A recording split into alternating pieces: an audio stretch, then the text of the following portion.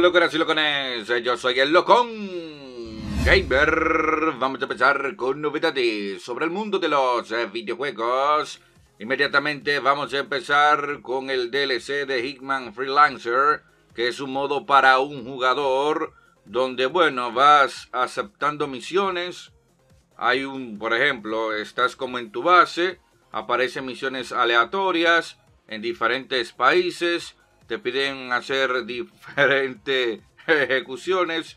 Estuve probándolo, la verdad me gustó. ¿Por qué? Porque es un modo diferente, es un modo que no tiene que ver con la historia, sino, bueno, eh, visitas el país que quieras, claramente que esté en la misión, ejecuta lo que tienes que hacer, vas ganando dinero.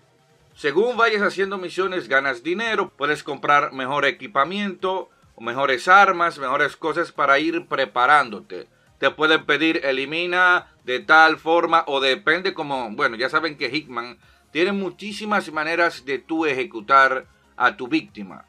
Dependiendo cómo tú lo hagas, te dan más dinero y bueno, más dinero, más cosas puedes comprar. Pero muy interesante, la verdad me gustó y me recordó mucho al Hickman Absolution en el sentido que no me, me transportó, es el Hitman que más me ha gustado y es un buen modo. También el videojuego está por unos 38 dólares en Steam, lo que es el Hitman World, Asesino Mundial. Y tiene todo prácticamente, Hitman 1, Hitman 2, Hitman 3, con todo, con todo lo DLC, con todo. Si quieres realmente, si te gusta o quieres un juego donde tengas que pensar, porque el mapeado es algo amplio y tienes que empezar a investigar, ver los movimientos para entrar a la casa, ver, ver dónde llegan los meseros, los chefs y ahí, ¿no? Ir quitándole la ropa o ir eh, colándote poco a poco, ir avanzando hasta llegar a tu objetivo. Me gustó realmente este nuevo modo que es como asesino libre, ¿no? Como libre puedes hacer lo que quieras, claramente fuera de lo que es la historia de Hickman. Entonces que muy interesante la verdad me gustó. Y bueno, pronto espero jugar a la misión de Hickman, todo lo que es la historia. Y por unos 30, bueno, casi 39 dólares tienes Hickman World que incluye 11 artículos. Lo probé hoy, lo vi que salió ayer el nuevo modo y dije, bueno, vamos a probarlo para ver rápido. Y la verdad me gustó, me gustó porque cada vez va mejorando, eh, se complica, pero tiene su recompensa, porque cada vez que finalizas las misiones, dependiendo cómo lo hagas, te dan dinero y con ese dinero puede ir mejorando tu arsenal, porque tienes como una base secreta donde vas poniendo las armas que compra, como en su lugar, así una armería y todo. Realmente muy bueno para darle variedad a este Hickman, que prácticamente ya no es Hickman 3, ahora pasó a Hickman World que tiene todos los Hickman, entonces que a un módico precio, así que bueno, es hasta el 2 de febrero. Si te quieres hacer con toda la saga luego del reboot de Hickman. Pasamos ahora con The Witcher y es que la edición física va a tener todo esto. Esto lo acaba de lanzar la cuenta oficial del Brujo y ahí verá en pantalla, ¿no? Todo lo que trae la nueva edición. Se puede ver eh, todo. La versión de PC, la versión de PlayStation 5, la versión de Serie X, la de Serie S y todo lo que aporta en comparación a la pasada generación, como puede ver.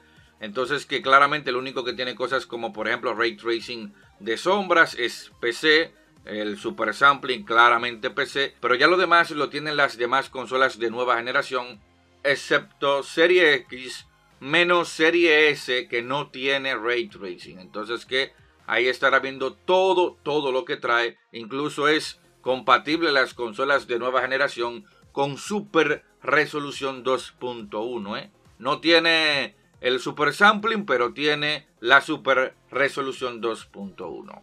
Pasamos ahora y es que se confirma ya lo de Far Cry 7 y es que dejaría su motor legendario, mítico motor legendario Dunia. Entonces que utilizaría el motor Snowdrop. El Snowdraw es como el de Division. Lo tiene casi todos los juegos. El Mario más rápido lo tiene, entre muchos otros. Sería interesante porque es el mismo motor también de Avatar.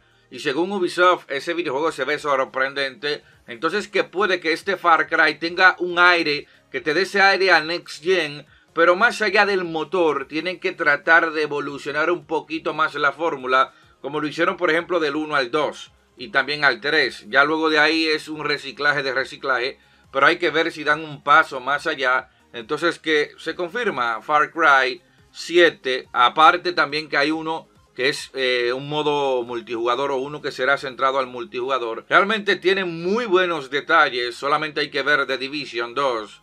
Es un juego que tiene una iluminación sorprendente, detalles muy buenos y bueno, deja su motor legendario Dunia y se pasa al motor que está utilizando Ubisoft, el Snowdrop.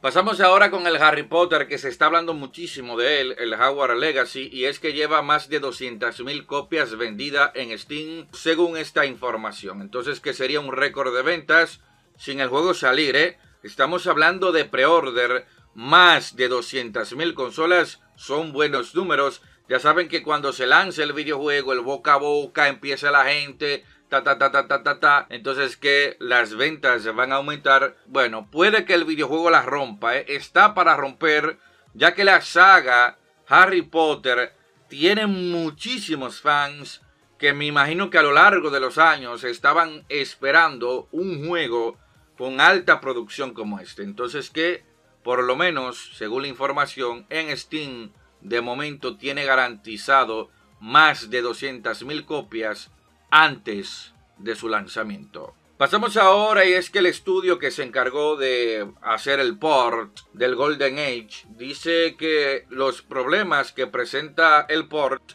son los mismos problemas que tenía la versión de Nintendo 64, como algunos errores, como que la textura, no sé, como que se ponen invisible a veces, como que o se pierden un poco, se ven como transparentes. Yo estuve viendo ayer al manco de mi hermano jugando y pude notar cosas que yo no recuerdo, realmente no recuerdo en Nintendo 64, incluso con un emulador, pero bueno, el videojuego a día de hoy sigue siendo un videojuego que, bueno, es antiguo, es un clásico de los clásicos, pero tú lo ves, te trae una nostalgia, Dios mío, qué tiempos cuando lo jugaba en Nintendo 64, incluso con pantalla dividida, también las misiones, la historia. Es un juegazo este videojuego. No importa que pasen los años, no importa que tenga gráficos de Nintendo 64, aunque vaya bien a 4K, a 60 FPS, aunque tenga logros, pero realmente este videojuego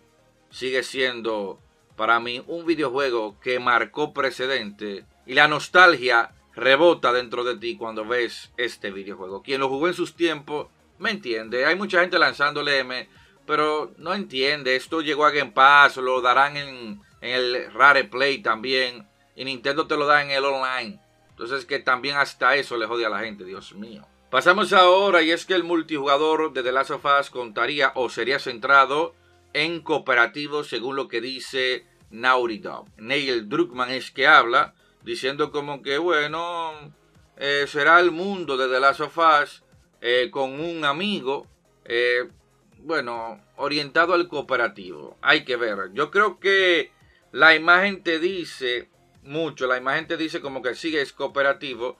No sé si sería en grupo de dos. Él dice como con un amigo. Te deja claro que es cooperativo de dos según lo que él dice. Entonces que me imagino que es un juego de supervivencia un juego que claramente tendrás que ir eliminando a otros, tomando sus recursos, aparte de los enemigos que hay en el videojuego, y claramente esto de las esporas y todo esto que se puede ver en la imagen. La imagen, lo que es el boceto este, te dice más o menos de qué será el juego. Te lo dice. Te tienes que cuidar de los enemigos.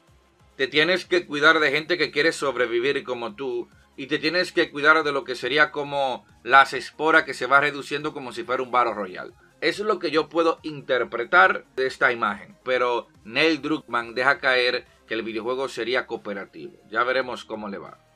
Pasamos ahora con Hi-Fi Rush y es que el videojuego, la versión de Xbox por parte de los usuarios tiene 92 eh, en Metacritic, lo que es el Metascore Solamente Xbox Era le ha dado un 95, es la página que ha puntuado, por ejemplo, en Xbox. En PC de momento tiene un 90, un 90 sin ninguna crítica. Y bueno, mucha gente dirá, bueno, lo con aquí mucha gente entra, le pone 0, le pone 10. Y realmente este videojuego está inflado por los fanáticos de Xbox. Bueno, si entramos a Steam, que tienes que comprar el juego, no te lo regalan. El juego de momento tiene un 98 con 176 críticas. Un 98% te dice que le está gustando de verdad a la gente que se lo está comprando, aunque no tomes de referencia lo que sería Metacritic, porque hay mucha gente que no lo ha jugado y le puede dar una nota, aunque gracias a Game Pass mucha gente lo ha podido jugar y probar. ¿eh? Hay mucha gente que tiene Game Pass y se le hace más fácil, aunque claramente habrá otra que ni lo ha tocado y le ponga un 10 y otro que le dé un 0 pero tanto en Steam, que para mí es la que vale, tiene un 98% de aceptación. Y para lo que le gusta a Metacritic, el videojuego tiene 90 en la versión de PC o 9.0 en la versión de PC y 9.2 en la versión de serie X esto, y serie S. Esto es claramente el Metascore de los usuarios.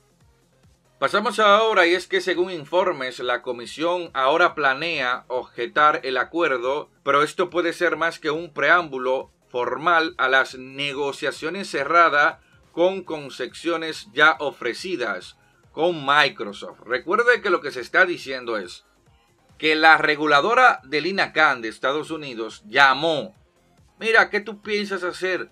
Bueno, estamos negociando, sí, vamos a tener concesiones, pero vamos a negociar. Lo que hizo la reguladora de INACAN fue, ah, esta gente va a negociar. Nosotros tenemos que cambiar la perspectiva. Vamos a demandar, vamos a decir que no aceptamos la compra para no para que empiecen las demás a dudar de esta compra. Pero lo que se dice es que la Comisión Europea se va a negar, pero ya para establecer las negociaciones, las concesiones ofrecidas ya. Se va a decir que no, pero luego aceptaría con estas concesiones. Esto puede tener lógica porque, bueno, tenemos que Jim Ryan acaba de ir, sí, Jim Ryan se reunió con la Comisión Europea la semana pasada y ya esto de entender parece que supo algo y fue a quejarse. Porque si esto fuese mentira, ¿a qué va Jim Ryan? ¿A qué va? Ah, creo que es Bruselas, creo que está en Bruselas. ¿A qué va la comisión? Claro, entonces que él sabe que está pasando algo, él va a intentar a ver si cambian de opinión o a buscar otro tipo de concepciones y dice, ya esto está perdido. Vamos a ver, entonces que tiene lógica. La visita de Jim Ryan le da lógica a esto que parece que se van a negar, van a decir que no, se van a oponer, pero para entrar ya con los acuerdos. No aceptamos la compra, la aceptamos con esto, estos o estas concepciones. Ya. Entonces que es lo que se está hablando. Y bueno, interesantísimo esto, ¿eh? Interesante. Jim Ryan fue, parece que, eh, bueno, fue esta semana que él fue. Esta semana, eso es lo que dice la información no la semana pasada, me corrijo aquí, ya hoy es viernes, Dios mío, esta misma semana. Jim Ryan fue, no sé si a llorar, no sé si a quejarse, entonces que tiene sentido lo que está saliendo. Si él va es que esto es verdad y trata de que cambie de opinión, pero también la reguladora con Lina Khan en la cabeza trató de cambiar, ¿no? Que la gente crea o las demás crean que esto es, eh, esta compra no se puede dar, que esta compra es monopolio, pero parece que la Comisión Europea aceptará la compra. Dirá primero que no y luego dirá que sí, claramente con las concepciones que Microsoft, bueno, ella ofreció y Microsoft aceptó o Microsoft le propuso y ella aceptó. Así está la situación. Pero ya para despedirme, voy a despedirme con esto muy interesante que me dio mucha risa. Y es que un streamer se pasó Spoken, o bueno, no sé si se pasó, estaba peleando con un jefe y se lo pasó con los ojos cerrados, solamente dando, solamente dando vueltas y atacando, disparando. Ahí está viendo. Interesante. Gran logro de este streamer. derrotar a este jefe o pasarse el juego con los ojos cerrados, me imagino peleando con los jefes, porque el juego tiene muchas cosas, tú no vas a ir todo el tiempo con los ojos cerrados, simplemente lo hace con pelea de jefe. Pero ahí está viendo este streamer con los ojos cerrados dando vueltas, pudo eliminar un jefe en Forspoken. Yo quiero que usted me diga, ¿eso es pro o realmente el combate de Forspoken está roto o no está bien realizado? Usted en los comentarios, jueguesela. Señores, hasta la próxima. Vaya todos.